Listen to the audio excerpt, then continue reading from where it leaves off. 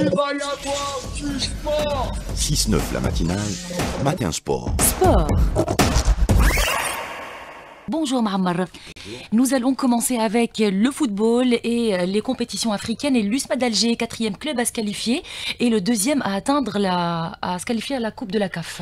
Alors, vous l'avez précisé, deuxième club algérien, quatrième club algérien à se qualifier pour la phase de poule, deuxième en Coupe de la CAF, c'est l'USMA d'Alger. L'USMA d'Alger battu un but à zéro par le stade tunisien.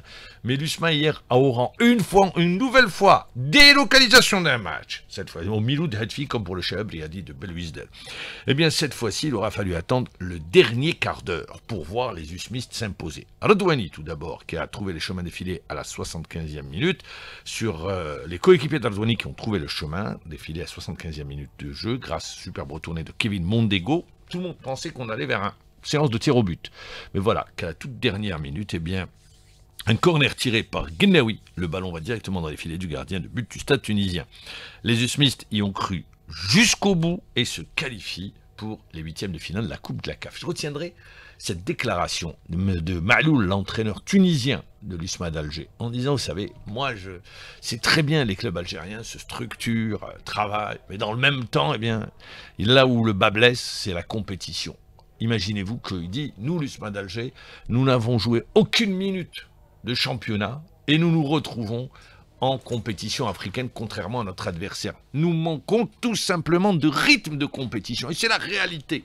Nos clubs manquaient de rythme dans cette compétition, à l'entame de cette compétition. Ça s'est vu pour le Mourdia d'Alger, pour le Cheabriadi de Belouizdad, pour euh, l'USMA d'Alger et le CS Constantine. Maintenant, on va attendre le tirage au sort tranquillement pour ça, les quatre clubs algériens, les deux en Champions League africaine, mais également en Coupe de la Confédération africaine de football. Alors, pour la Coupe de la CAF, on retiendra la qualification de Orapa United. Simba Football Club ont éliminé le Ehli de Tripoli, qualification de Bravo de Makis, d'Otoho Doyo, qui a éliminé les Black Bulls de Maputo, Inyamba s'est qualifié devant l'étoile filante de Ouagadougou, ça s'est joué au penalty, 3 à 2, 0-0 sur les deux confrontations. La Sec Mimosa s'est qualifié en battant l'AS Kara 2 buts à 0. Al-Masri d'Égypte se qualifie aux dépens de Hillel au penalty.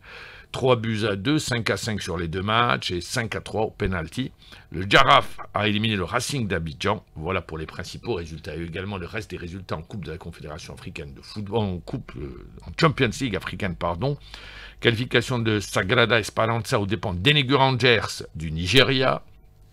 Le Joliba s'est imposé en déplacement face à l'Asco de Kara. Milo a éliminé le stade d'Abidjan et qualification de Hillel Oum Dormen face à San Pedro. Voilà pour les résultats. On retrouve tout simplement les meilleures formations. Il y aura quatre chapeaux avec le, le premier chapeau, vous vous doutez bien, on retrouvera Mamelody Sundowns, l'Ehli, euh, présent également le tout-puissant euh, Mazembe qui fera partie également du premier chapeau, l'Espérance sportive de Tunis qui fera partie du premier chapeau. Euh, voilà, je vous donne comme ça quelques clubs. Pour nos, clubs, nos représentants, le CRB sera sûrement dans le deuxième chapeau et le Mouloudia d'Alger dans le troisième chapeau. On parle basketball à présent, Mahamar avec les filles du GS Cosider qui participent à la Coupe arabe. Compétition qui se déroule en Jordanie. Nos filles, les basketteuses du groupement sportif Cosider, n'iront pas en finale. Elles se sont inclinées hier, battues par les Saoudiennes d'El Oula, FC 63 à 54.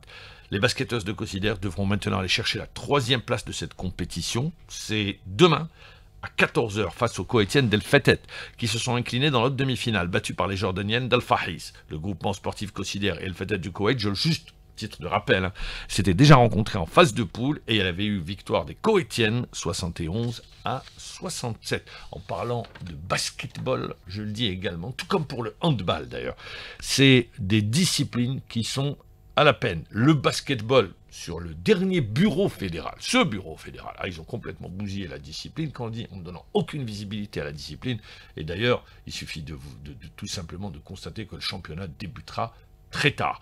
On attendait un réveil, un élan pour cette discipline, et à titre juste de rappel, la discipline, le basket est adoré par les jeunes. Il suffit de se déplacer, il suffit d'aller dans les quartiers. Le 3 contre 3, qui est une nouvelle discipline également, c'est un basket urbain c'est très spectaculaire et également adoré par les jeunes. Mais la fédération, qu'est-ce qu'elle fait? Rien. Les bras croisés. On regarde, on est spectateurs, on se plaint du matin au soir au lieu de travailler, d'aller trouver les ressources, l'argent nécessaire, de mobiliser la ressource humaine. Et je voudrais juste, je prends un exemple. Le potentiel existe à travers tout le territoire national. Et je suis sûr qu'il y a des basketteurs, parce que le morphotype existe dans le sud du pays, mais personne ne viendra faire de la détection dans le sud du pays. Personne. Il y aura juste une journée olympique pour le sud, on passe et on rentre à la maison. Et ça, c'est déplorable. C'est malheureux pour le sport national. Et on revient également ce matin, Djibour, sur cette importante décision du Conseil des ministres d'hier avec la relance du sport scolaire. Et c'est important le sport scolaire, Mahmoud. C'est très important, le sport scolaire. Pratiquer le sport, c'est déjà donner une base à un enfant en matière de coordination. Lui apprendre à courir, à faire les bons gestes. Et puis les talents existent. Le nombre de parents qui m'appellent pour que leurs enfants puissent faire du sport, je peux même pas vous le dire, mon téléphone n'arrête pas de sonner, surtout durant ces périodes. Parce qu'il n'y a pas de sport, malheureusement, le sport à l'école, on n'y est pas. Aujourd'hui, il y a une décision forte, demandée. Il y a une orientation, une obligation qui est faite pour lancer justement cette, les sports, relancer les sports co. Déjà dans un premier temps, apprendre à un enfant à aimer le sport, à faire de l'effort, à ne pas rester juste jouer avec ses doigts. Parce qu'aujourd'hui, c'est vraiment, on est en train de massacrer des générations avec ces histoires de PlayStation.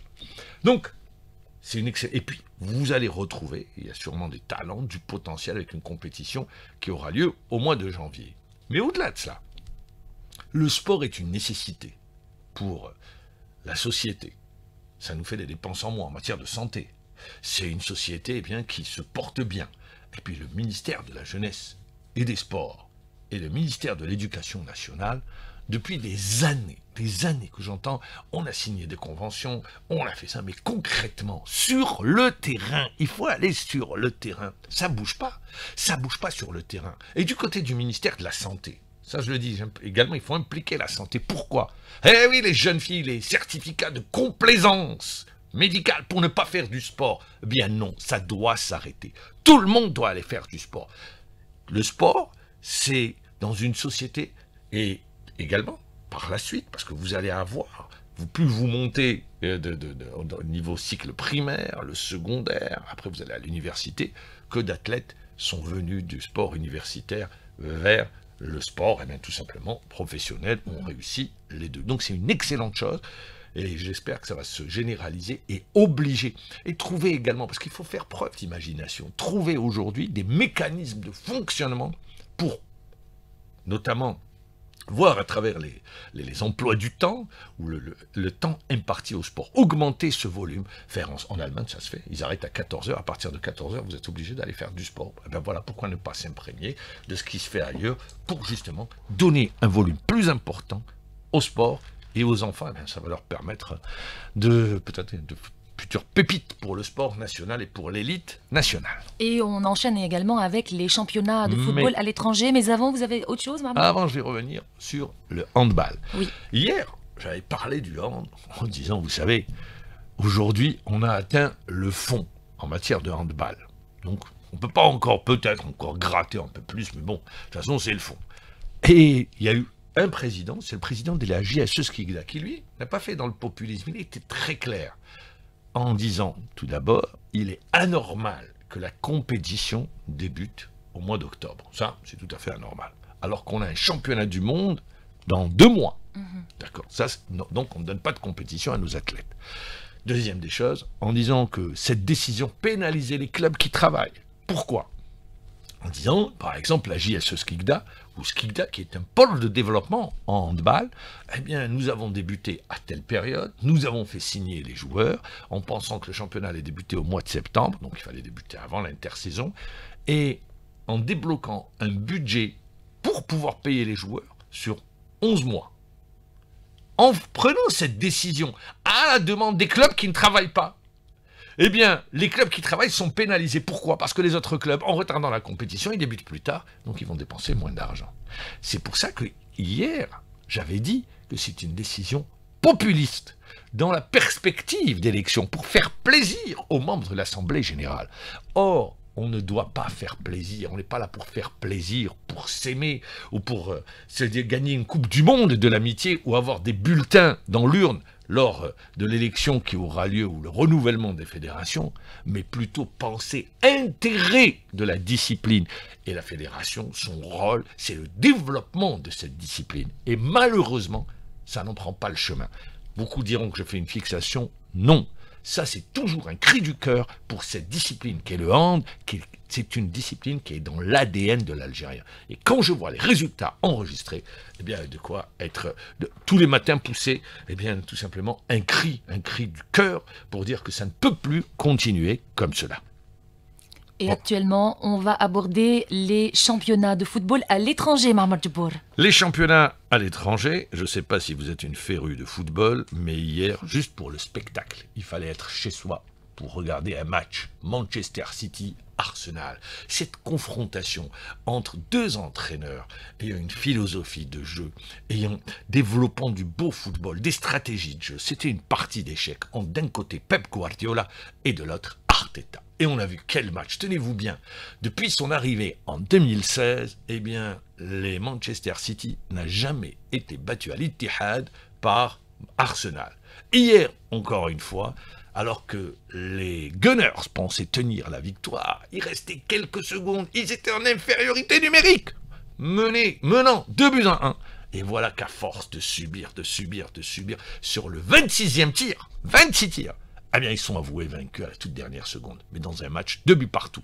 Et je retiendrai cette leçon du côté des Gunners, bien qu'en infériorité numérique, subissant, mais ils n'ont pas cédé la moindre parcelle. Ils ont défendu en bloc, ils étaient là à se sacrifier. Cette solidarité d'équipe, c'est vraiment un cours d'une de, de, équipe, ça a été une leçon d'une équipe de foot qui, faisant avec ses moyens face à une équipe qui était en supériorité numérique, eh bien, qui a résisté, résisté, résisté, et qui a superbement défendu mètre par mètre. Bon, finalement, match nul, deux buts partout. Mais comme dirait Pep Guardiola, il reste encore 99 points à aller chercher pour le titre de champion.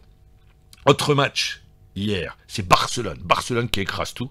Barcelone qui s'est imposé face à Villarreal 5 à 1. C'est le du côté de Barcelone, c'est la sixième victoire de suite. Depuis l'entame de la compétition, ils ont gagné tous leurs matchs. Ils n'ont perdu aucune rencontre. On va enchaîner avec euh, la, Serie A. Milan AC, Inter, le derby milanais. Il aura fallu attendre également la toute dernière seconde pour voir le Milan AC s'imposer. 2 buts à 1. À retenir que la Roma a battu Udinese 2 buts à 0. En Allemagne, le Borussia, le Leverkusen a battu le Wolfsburg 4 à 3.